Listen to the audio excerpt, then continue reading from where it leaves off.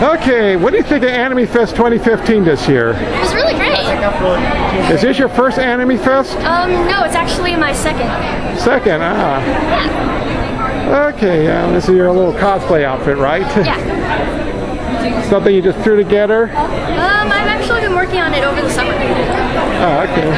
so- Okay, have you been to any other anime conventions? Um, I've been to a few. I went to A-Kon this past year and the year before that, and I've been to Ikkicon a Okay, so okay, so so what do you uh, what do you okay, so you'll probably be back next year, right? Yeah. Okay, so so you, uh, and it, and AnimeFest is a real good con. Yes. Okay, thank you and Bye. Thank you. bye.